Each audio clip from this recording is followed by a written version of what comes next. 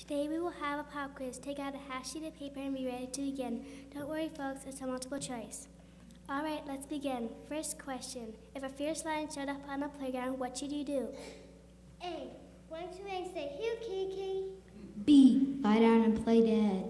C. Ignore it. Completely ignore it. D. Put on your armor and pick up your sword. Resist the lion and he will flee from you. Everyone have your answer? Okay, moving on to question two. If a powerful enemy starts shooting fiery darts at you, what should you do? A. Wave a white flag. B. Bake some cookies for him. C. Try to express how the darts make you feel. D. Take the shield of faith wherewith ye shall be able to quench all the fiery darts of the wicked. One final question. Are you ready? Here it is. If you're trapped in a house of mirrors and can't tell what is true or false, what should you do?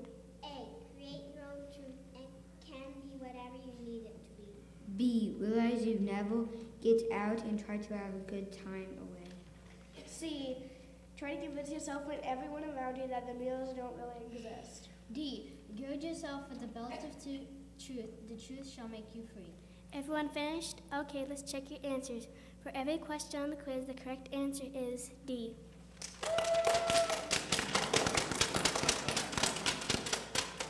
Remember, students, as you go out of this classroom, watch out for fierce lions, powerful enemies, and confusing mirrors. Most of all, remember this. Ephesians 6:13 Wherefore